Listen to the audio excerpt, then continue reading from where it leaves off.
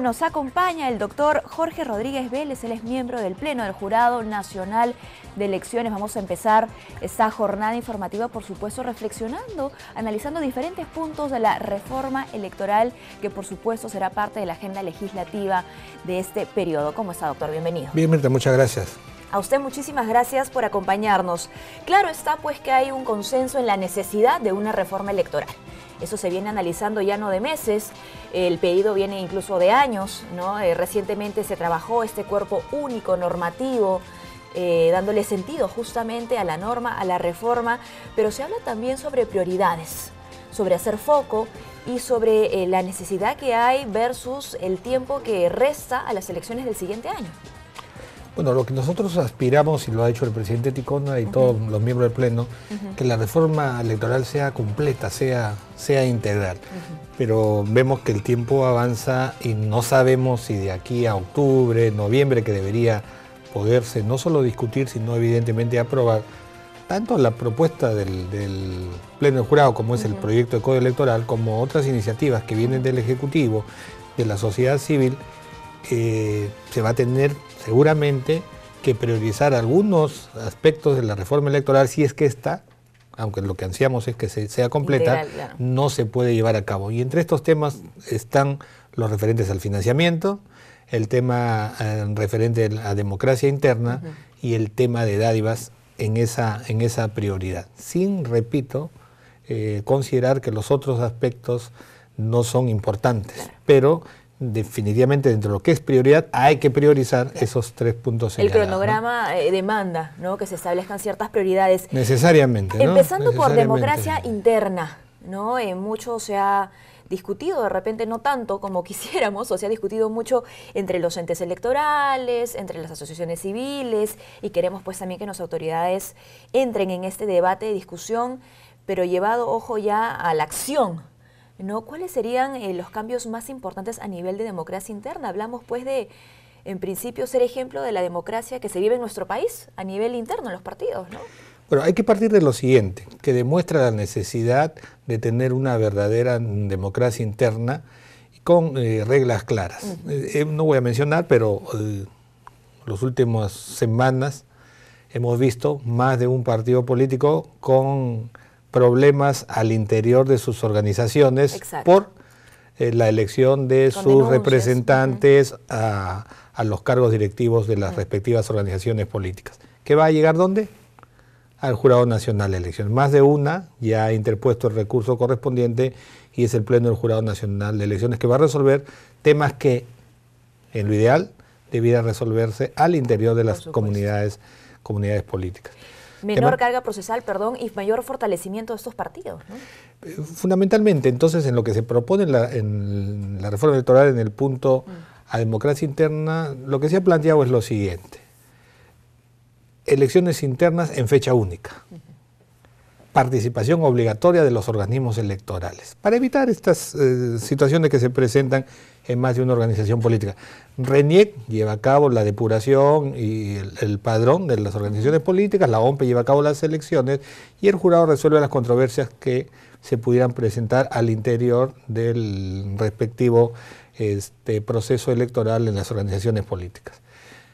Eh, efectos vinculantes de los resultados, porque si la democracia interna tiene como fundamento que es mm, realización de las situaciones que cumplen los partidos en el espacio público, es repetición de eh, mecanismos democráticos, mm.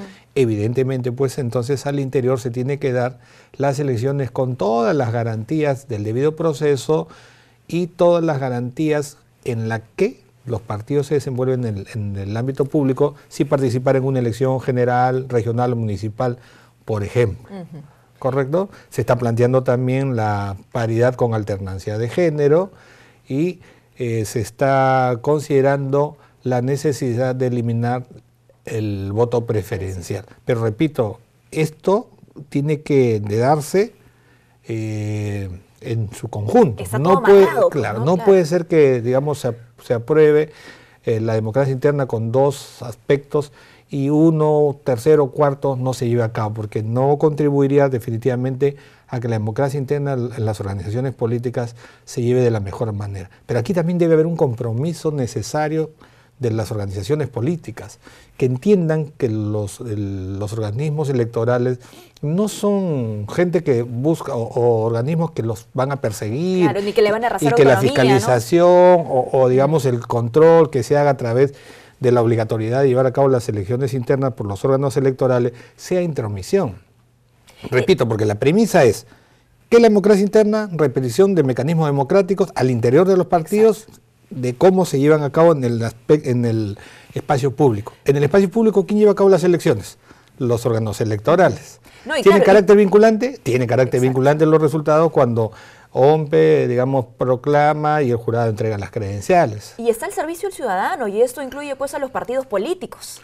No, está justamente para facilitar esos procesos, como bien decía, para que luego no hayan cuestionamientos, ¿no? A posteriori, para que no haya este desencanto también al interior de los partidos, porque muchos se preguntan por qué no hay vida política, ¿no? ¿Por qué, perdón, no hay vida partidaria, comunidad partidaria? Claro, muchos al interior de los partidos sienten pues que no tienen una oportunidad, que no tienen un espacio, que no son escuchados, que no hay transparencia y todo eso seguramente tendría una solución si los partidos son fortalecidos de esta manera. Claro, pero repito, eh, los partidos tienen que hacer su parte. Ellos no pueden estarlo hecho más de una oportunidad. En principio no podemos satanizar a los partidos, son base fundamental de la democracia, son pilares de la democracia. Pero ellos tienen una responsabilidad con la gente. Es decir, recobrar esa confianza perdida en la ciudadanía, que tiene la ciudadanía con relación a los partidos y, a la política en general, o a los políticos. De manera tal que esa es una tarea de ellos. No pueden estar de espaldas a, a la reforma electoral, lo he dicho más de una vez, porque una reforma electoral sin la intervención de los partidos políticos va a ser una reforma electoral incompleta. Solo ellos viven el día a día de lo que es al interior de los partidos. No lo vivimos nosotros, ni, la, ni digamos los, las ONG, ni mm. otros organismos que pueden aportar, digamos, experiencias distintas para una reforma electoral. Nosotros aportamos en base a las experiencias que nos dejan cada proceso anterior. Pero la experiencia de ellos de estar en el día a día en cada, en cada organización política, solo la pueden aportar ellos. Entonces, sumando todas esas, esas fuerzas, esos, esos conocimientos, es que se puede llevar a cabo una, una elección. Sin ellos, que son los actores principales, la reforma electoral sería incompleta, si es que están de espaldas a la misma, ¿no? Y tener claro seguramente lo siguiente, ¿no? Que una reforma electoral traería como consecuencia también una reforma de nuestra clase política, ¿no? Que es lo que a lo que aspiran muchísimos peruanos, la mayoría de ellos que, como bien dice usted, tienen este desencanto ¿no? por la política en general, por nuestras autoridades. Claro, hay un tema, pero a partir de este año ya se está eh, haciendo entrega del financiamiento público directo a las organizaciones políticas que tienen representación en el Congreso. Definitivamente esto para la ciudadanía o para un sector mayoritario de la ciudadanía, creo, no es bien visto. Pero los partidos tienen que subsistir. Y para subsistir, como se hace en otros países, el Estado financia a, los partidos políticos. Ya se les ha hecho entrega, no sé si un quinto que corresponde por, por año dentro del quinquenio, a los efectos de que, los partidos con, ese dinero puedan tener locales donde, que estén permanentemente abiertos y pueda utilizarse dinero para educación, capacitación e investigación, exclusivamente para esos rubros el dinero que va a otorgar el Estado. La gente no lo ve así muchas veces. ¿no? esa es la información que tiene que llegar a la gente. Le agradezco que usted lo comente porque, claro, muchos dicen, pero ese dinero, ¿a dónde va? Claro, pensará que para los viajes, para contratar personal, digamos, este, para hacer fiestas, etcétera. No. Pero estamos hablando de mejorar es la clase política, Es exclusivamente para el sostenimiento de los partidos. Si un partido no tiene obviamente cómo pagar sus locales, va a estar cerrado. En algunos casos no solo cerrados, no existirá porque si alquilaron, obviamente van a recuperar los dueños este, y deja de ser una práctica democrática además, ¿no? Porque ¿quién tendría acceso a quién podría? ¿Y cómo, cómo queremos una nueva clase política si al interior de los partidos no hay educación, no hay formación, no hay investigación? Ese es el propósito. Es una tarea, digamos, difícil. Claro que sí. Toda esta toda aquella cuando recién se empieza, más aún con el rechazo mayoritario de la población, pero los partidos pues están en la obligación y en la necesidad de recobrar la confianza de la ciudadanía en la clase política, en los partidos políticos y ahora, sobre todo los que tienen representación en el Congreso y están recibiendo el financiamiento público directo, podrán pues formar cuadros que permitan irse renovando en, los cargos públicos y tener una clase política sólida, confiable, creíble. e idónea, que es lo que la ciudadanía espera de nuestra clase política. Y que estos nuevos cuadros ¿no? encuentren, como bien decía, la oportunidad también, el espacio. Claro. ¿no? Y esto va de la mano con la eliminación del voto preferencial. Claro, si bien es cierto discutible, eh, nosotros estamos proponiendo la eliminación del voto preferencial, porque si bien es cierto en, los inicios, cuando no había ley de partidos políticos, es decir, no había la obligatoriedad, que, como lo señala la ley, de llevar a cabo la democracia interna en los partidos, ¿cómo se elegía? A veces por el caudillo, por el dueño del partido, por el, dirigente, eh, también el dirigente máximo, y de una u otra manera llevaba a cabo ciertos mecanismos para elegir a sus, a sus candidatos mm.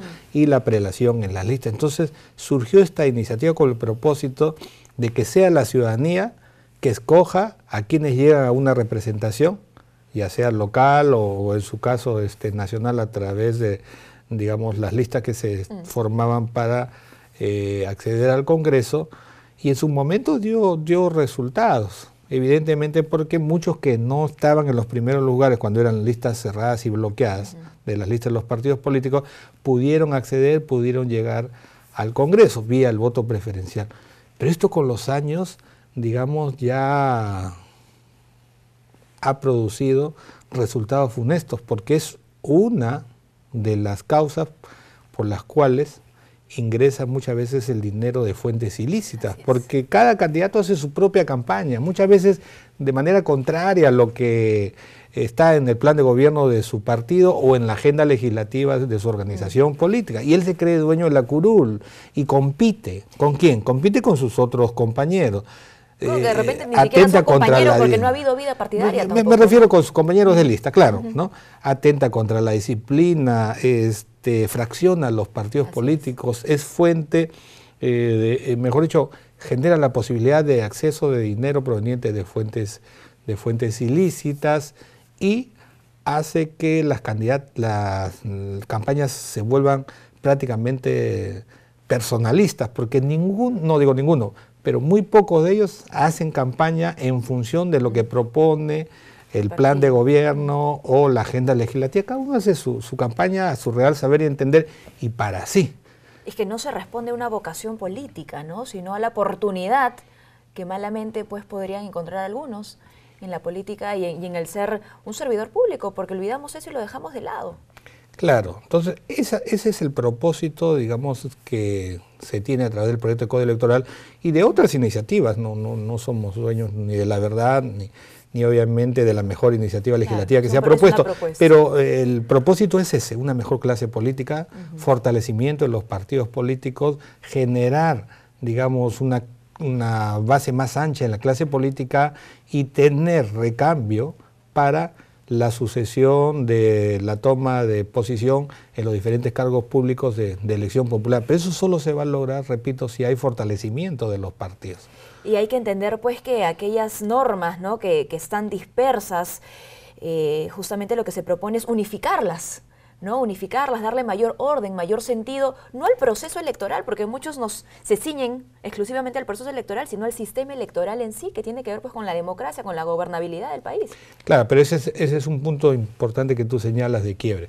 O sea, mm. que no se entienda que la política solo debe tomarse atención en ella eh, desde que se inicia el periodo electoral hasta que concluye, hasta lo que concluye el mismo. La política tiene que ser constante y permanente. Los partidos no solo pueden existir o digamos tener presencia, si se quiere, en el firmamento nacional cuando se convoca a elecciones y, después desaparecen y no sé, van a descansar, dormir, etcétera, hasta una nueva elección. Tiene que tener presencia permanente. Es a través de los partidos que se tiene que hacer investigación, se tiene que hacer educación, porque ellos son el canal del mm, pedido de los ciudadanos a digamos, sus necesidades. Y de acompañamiento a aquel candidato que fue escogido. Sin duda, ¿no? Porque representa, por supuesto, su partido, ¿no? Entonces, la idea es esa, que la, actividad política al interior de los partidos sea constante y permanente.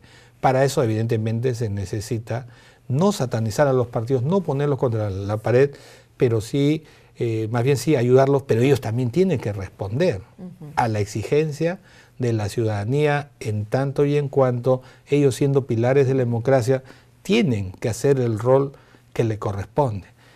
Y asumir también que para el tema de la reforma no puede haber, eh, puede haber confrontación de ideas, sí está, eso es, correcto, digamos, con los organismos electorales, con, otros entes, pero deben comprender la necesidad de dialogar, de consensuar, de ponerse de acuerdo, porque si nos vamos a pelear entre entes electorales y los partidos políticos, por decir, ellos burócratas y, no saben lo que se vive al interior, no avanzamos. La idea es decir, aporta lo tuyo, mm. tu día a día, yo aporto las experiencias de, que me dejan los procesos anteriores y veamos el punto necesario para los efectos de una mejor legislación, pero una mejor legislación que, digamos, no solo sea aplicable, sino que redunde en beneficio de la clase política y la democracia, porque podemos tener la mejor legislación y si esta no se cumple, si, si, los actores no, llevan a cabo el papel que les corresponde, mm. en realidad sería una legislación de vitrina y eso no se quiere. ¿no? Finalmente, ya para, para terminar con eso que usted menciona, ¿no? de aquellos aportes que hacen por supuesto los organismos electorales, aportes en base al conocimiento y a la experiencia del Jurado Nacional de Elecciones, por ejemplo, y la recepción que tienen los partidos políticos en diferentes eh, diálogos participativos, conversatorios, se ha propuesto, ¿no? Se ha conversado, se ha debatido el, código electoral, el proyecto de ley, y ha habido una buena recepción de los partidos políticos. Entonces, eh, mi pregunta final sería, ¿qué faltaría ¿no? para llevar a la práctica esta, esta buena recepción? Bueno, en principio, como, como te decía, mm. entender que lo que nosotros podamos proponer es en función de lo que nosotros recogemos, de las experiencias que nos dejan los procesos. Ellos tienen que poner lo suyo, porque muchas de las cosas pocas o medianas que podemos proponer, ellos pueden decir que al interior de los partidos tal o cual propuesta puede ser eh, realizable, tal o cual puede no ser realizable. Entonces, vamos a consensuar, vamos a ver qué es lo que tú propones, qué es lo que nosotros proponemos a los efectos de una mejor legislación, sin desconocer que el tema interno del día a día de los partidos es de ellos. Ahí nosotros no podemos aportar experiencia porque no hacemos vida partidaria es esa experiencia la que ellos tienen que poner para llevar a cabo la, reforma electoral y nosotros la que corresponda. Pero poniéndonos de acuerdo. Una acción conjunta. Se puede discutir, pero si de plano, eh, digamos, se manifiesta cierta animadversión, nunca nos vamos a poner de acuerdo. ¿no? Hay que ponernos de acuerdo. Necesariamente. Por el bien del país, por supuesto, de las próximas elecciones en el 2018. Muchísimas gracias, doctor, por habernos acompañado en esta jornada informativa. Hemos conversado con Jorge Rodríguez Vélez, miembro del Pleno del Jurado Nacional de Elecciones. Hacemos una pausa. No se mueva, retornamos con mucho más.